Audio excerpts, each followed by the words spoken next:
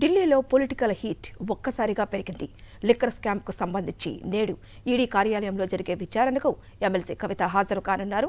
South group లావాదేవీలు ఆప్ నేతలకు వంద కోట్ల ముడుపులు కిక్ బ్యాక్లు ఫోన్లు మార్చడం ఫోన్లను ధ్వంసం చేయడం వంటి ఆరోపణలపై కవితను విచారించే అవకాశం ఉంది.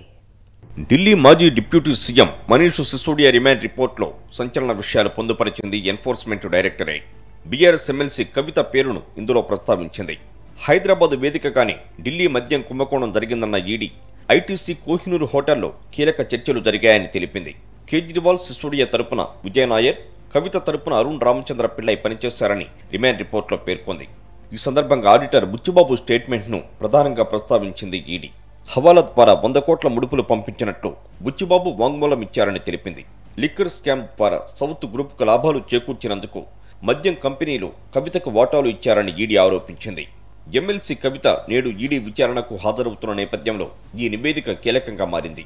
మనీష్ సిసోడియాను ఈడీ ఏడు రోజుల కస్టడీకి తీసుకోవడంతో నేడు కవితను ఆయనతో కలిపి విచారిస్తారని ఈడీ వర్గాలు చెబుతున్నాయి. మరోవైపు లిక్కర్ కేసులో శుక్రవారం కీలక పరిణామం చోటు చేసుకుంది. తాను ఈడీకి ఇచ్చిన వాంగ్మూలాన్ని వెనక్కి తీసుకోవడానికి అవకాశం ఇవ్వాలని కవిత బినామీ అని ఆరోపణలు ఎదుర్కొంటున్న అరుణ్ పిళ్ళై విజ్ఞప్తి చేశారు. ఈ మేరకు రౌజ్ అవెన్యూ ప్రత్యేక కోర్టులో పిటిషన్ దాఖలు చేశారు. దీంతో కౌంటర్ దాఖలు చేయవలసిందిగా ఈడీని ప్రత్యేక కోర్టు ఆదేశించింది. లిక్కర్ స్కామ్ కేసులో అరుణ్ పిళ్ళైని ఈడీ ఇటీవల అరెస్టు చేస్తుంది తాజాగా కవితను ఈడీ అధికారులు విచారించనున్న నేపథ్యంలో పిళ్ళై వేసిన పిటిషన్ చర్చనీయాంశమైంది. ఎలాంటి తప్పు చేయకపోయినా దర్యాప్తు సంస్థలను అడ్డం పెట్టుకుని కేంద్రం వేధిస్తోందని బీఆర్ఎస్ నేతలు ఆరోపిస్తున్నారు. చూడు వాళ్ళు అరెస్ట్ చేయని ఏమని చేయని? వాళ్ళు ఏ అరెస్ట్ చేసినా మాకు ఇంకా గ్లామర్ పెరుగుతుందా? ప్రజలలో మాకే సింపతి వస్తుందా?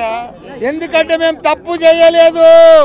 పప్పు చేయనందుకే చెయ్యనందుకే మమ్మల్ని వాళ్ళు బాధ పెడుతున్నారు.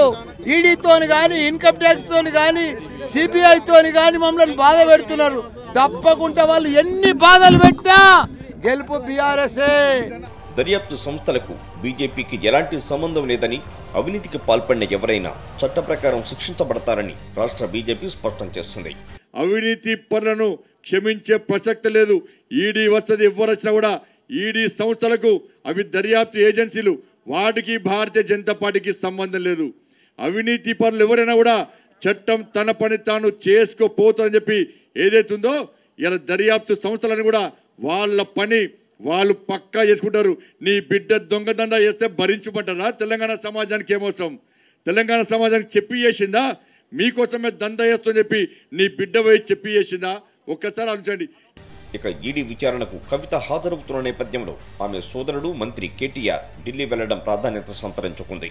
విచారణ తర్వాత కవితను అరెస్టు చేయవచ్చనే ఊహాగానాలు సాగుతున్నాయి. ఈ నేపథ్యంలో కవితకు నైతిక మద్దతుగా నిలిచేందుకు కేటీఆర్ ఢిల్లీ వెళ్ళారని పార్టీ వర్గాలు చెబుతున్నాయి